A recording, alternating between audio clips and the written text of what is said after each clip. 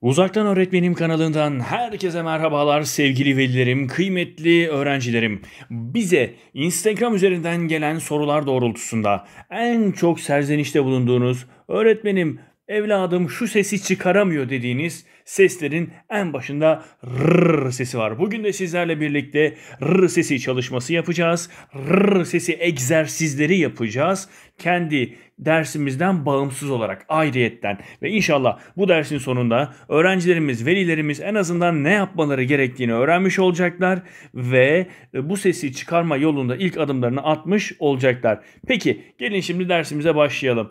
Ee, birinci olarak rrrr sesini söyleyememe sebeplerimizin başında ne geliyor? Tabii ki de dil kaslarının yeteri kadar ne olmaması, yeteri kadar gelişmemesi geliyor rrr sesini söyleyemememizin en başındaki etken. Peki sevgili öğrencilerim dil kaslarını neden gelişmiyor? Dil kaslarının gelişmemesinin sebebi e, öğrencinin o dile yeterince maruz kalmaması, o sese yeterince maruz kalmaması geliyor. Peki başka ne, hangi nedenler var? Dil bağı denilen bağlantının dil ucuna yakın oluşması. Evet biliyorsunuz dilimizin altında bir dil bağı var. Onları mutlaka dilin ucuna doğru geldiğinde e, r sesi de dilimizi katlayarak söylediğimiz bir ses olduğundan dolayı bundan da kaynaklanabiliyor. Peki konuşmayı kazanma ve pekiştirme döneminde çocukla ilgilenecek bir yetişkinin olmaması. Özellikle çalışan anne babaların en çok sıkıntı çektikleri, özellikle çalışan anne babaların daha çok evlatlarına daha çok karşılaşılan bir problem maalesef bu. E, sesleri çıkaramama. E, peki çocuğa konuşmayı öğretmek için izlenilen yolun yanlış olması. Özellikle çocuklar birinci sınıfa başladıkları zaman anneler e, velilerimiz bilinçsiz bir şekilde maalesef işte daha baskı yaparak, daha çok öğrencide stres oluşturarak o problemin derinleşmesine sebebiyet verebiliyor. Dolayısıyla baskıcı ve eleştirici tutumlardan uzak kaldıkça, rahatladıkça öğrenci daha rahat ses çıkarabiliyor. Ve anne baba arasında geçimsizlik, maddi sorunlarda maalesef bunlardan birisi. Peki çözüm için ne yapacağız? Biz sadece problemi teşhis etmeyeceğiz. Çözüm odaklı da hareket edeceğiz şimdi sizlerle. Bakın e, çocuk yanlış çıkardığı seslerin doğrusunu çok dinlemeli. Duymalı, sesin doğrusu işitme merkezinde yer etmeli. Yani şu var bakın uzun yıllar sonra yani yetişkinlikten sonra yeni bir dil öğrenmeye kalktığınızda bazı sesleri çıkaramazsınız. Mesela bir Avrupalı Türkçe öğrenmek istediğinde e, birçok sesi çıkaramaz veya işte bir Arapça konu, Arapça sesleri çıkarmak istediğimizde bazı gırtlaktan çıkan sesleri çıkaramayız. Sebebi ne? Yeteri kadar işitme merkezinde yer etmemesi. Şimdi biliyorsunuz sesler kulağımıza geldikçe daha fazla e, işitme merkezimizde yer edinecek ve o sesleri çıkarmamız daha kolay olacak. Peki az sonra size öğreteceğim egzersizler birazdan çok güzel egzersizler yapacağız sizlerle ve bu egzersizleri düzenli yaptığınız takdirde emin olun problem büyük ölçüde halledeceksiniz. Aynanın karşısında doğru sesi çıkarma çalışması yapmanız gerekiyor. Az sonra öğreteceğim egzersizleri aynanın karşısında yapmanız daha büyük bir avantaj, daha iyi, daha hızlı sonuç almamızı sağlayacaktır. Peki sevgili öğrencilerim, kıymetli velilerim. Tabii ki de atasözleri, deyimler, tekerlemeler söylememiz gerekiyor. Mesela e, hepimizin bildiği hadi bakalım birlikte bir deneyelim bakalım yapabilecek miyiz?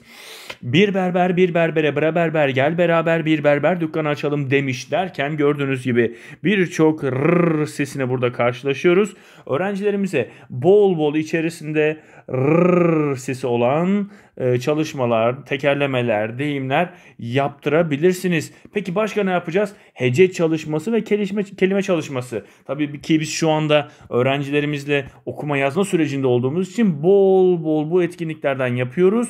E, uzaktan öğretmenim YouTube kanalında ve uzaktan öğretmenim Instagram kanalımızda da bu çalışmalara ulaşabilirsiniz. Ama şimdi birkaç tane örnek çalışma yapalım istiyorum sizlerle birlikte egzersizlere başlayalım istiyorum. Ama bir şeyi unutmayın lütfen.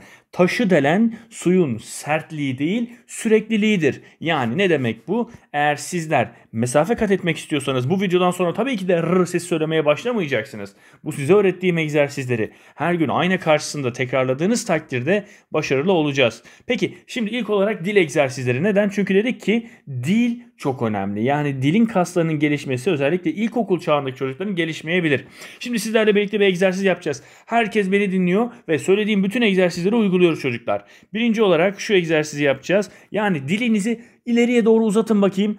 Ee, uzatabildiğiniz kadar uzatın. Daha fazla. Evet evet bakmayın öyle. Sizin için yapıyoruz bu egzersizleri. Dilinizi uzatın bakalım ileriye doğru. Çok güzel. Harikasınız. Tamam. Ee, şimdi ikinci etkinliğe geçiyoruz. Bakın dilinizi dudağınızın kenarına koydunuz. Şöyle, şöyle kenara koydunuz. Ve şimdi dilinizin ucuyla dudağınıza şöyle bir çember yapın bakalım. Evet hadi hep birlikte yapalım. Ee, ben yaptım. Bir kere daha. Bir kere daha. Peki kaç kere yapacağız öğretmenim bunları? Bunları e, çok zor etkinlikler. Yani bir süre sonra dilini ağrıyacak öğrencinin. Dolayısıyla e, yorulduğu zaman bıraksın ama her seferinde arttıra arttıra devam etsin. Tekrardan bu etkinliği bir daha yapalım.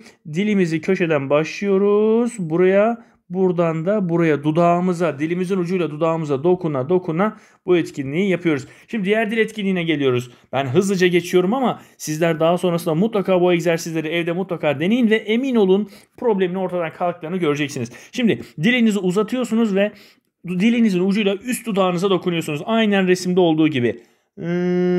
Üst dudağına dokunuyorsun. Evet. Şimdi ikinci resimde ise dilinizi dişinizin iç tarafına değdiriyorsunuz ki işte bize rrr sesinde asıl lazım olan bu. Dilinizi dişinizin iç tarafına. Rrr. Dikkat edin. Rrr. Çocuklar rrr sesini çıkarırken dikkat ettiyseniz bir titreşim oluyor. Bir bir şey bir titreşim oluyor. Fark ettiniz mi? İşte o titreşim bizim için çok önemli. Neden? Çünkü rrr sesini çıkarırken dikkat edin lütfen. Dilimiz dişimize doğru dişimizle damağımızın iç taraftan dişimizle damağımızın birleştiği yere geliyor ve damağımızla dişimiz arasında bir titreşim oluşuyor. Rrrr. Peki bu titreşimi nasıl sağlayacağız? İşte şimdi size müthiş bir etkinlik geliyor. Bu etkinliği de hep birlikte uygulayabilirsiniz. R sesini çıkartmak için çocuğa su ile gargara yaptırın. Ben suyumu hazırladım. Sizinki hazır değilse az sonra da, bu videodan sonra yaparsınız. Evet bakın suyumu aldım. Titreşimin ne demek olduğunu çocuğa kazandırmak için yaptığımız bir etkinlik. Suyumu içiyorum. Şimdi iyi dinleyin lütfen.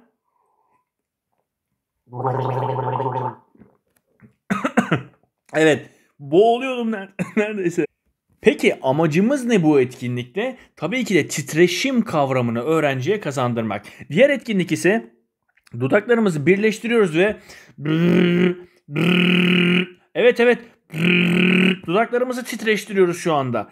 Dudaklarımızı titreştirdik ve titreşimin dilde titreşimin ne olduğunu böylelikle öğrenciye kazandırmış oluyoruz. Şimdi bu teyzemiz kim? Size bu teyzemizden bahsedeyim çocuklar. Ülkemizde bazı yörelerde, bazı e, dillerde Ramazan, Recep yerine Ramazan, Recep diye söylerler. Duymuşsunuzdur belki. Siz duymamışsanız anneleriniz mutlaka duymuştur babalarınız.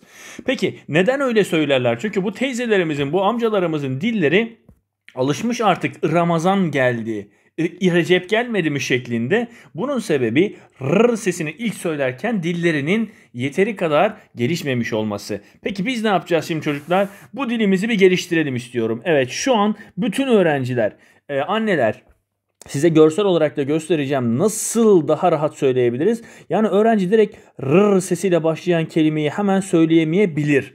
O zaman ne yapacağız? Sesli harflerden faydalanacağız. Örneğin A sesinin yanına r getireceğiz. Hadi okuyalım. Ar. Peki e sesinin yanına getirelim. Er. Evet aynı devam ediyoruz. A, E şimdi I'ya geldik bakın. Ir. İr. Or. Ör. Ur. Ve ür. Evet. Bu egzersizleri yukarıdan aşağı çokça yapmamız gerekiyor. Bir daha yapıyoruz çocuklar. Bana eşlik ediyorsunuz. A r ar er ır ir or ör ur ür. Evet bu şekilde bütün sesli harflerle yaptık. Sonra da sessiz harflerle yapacağız. Dikkat edin çocuklar. Sessiz harflerle nasıl yapacağız? Haydi hep birlikte ona da bakalım şimdi. B sesiyle başlıyorum. Bar. Ber. Bır. Bir. bor, bör, bur, bür. Evet değerli anneler şu anda amaç ne? Şu anda amaç dil kaslarımızı geliştirmek. Dilin o titreşime sahip olabilmesini sağlamak. Aynen bu şekilde. Diğer seslerle de aynı şekilde devam ettire ettire ettire bu bir süre sonra ama her gün düzenli olarak bu çalışmaları yapacaksınız. Ben video daha da uzamasın diye yapmıyorum. Düzenli olarak bu çalışmalarımızı yapıp öğrencimize o yetiyi kazandıracağız. Peki hadi gelin şimdi şurayı birlikte yapalım çocuklar sizlerle. Bunların isimlerini söylemeye çalışalım hep birlikte. Bu bir tır. Hadi bakalım. Tır. Tır. Çok güzel. Bakın burada kar var. Kar. Benle birlikte tekrar ediyorsunuz. Kar. Evet. Bir tane nar.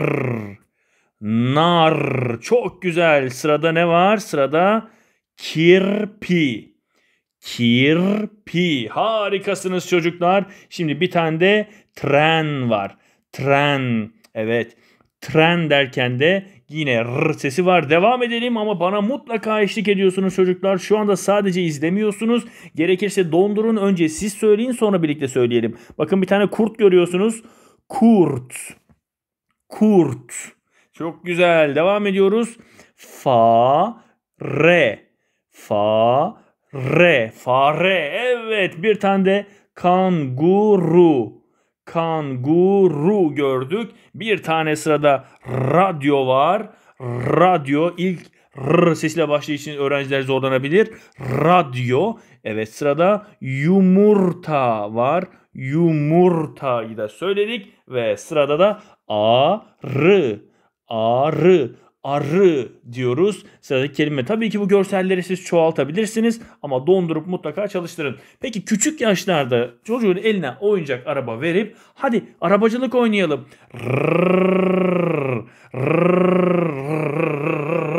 Diye çocuklara oyunla bunu öğretebilmeniz de mümkün ve gerçekten çok da etkili bir yöntem. Sizlere hızlıca r sesiyle alakalı egzersizler ve birçok çalışma vermeye çalıştım. Şimdi biz dersimize dönüyoruz.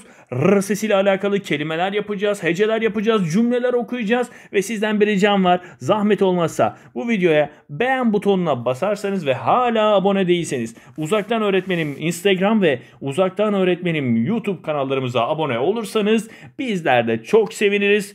Kendinize iyi bakın. Görüşürüz.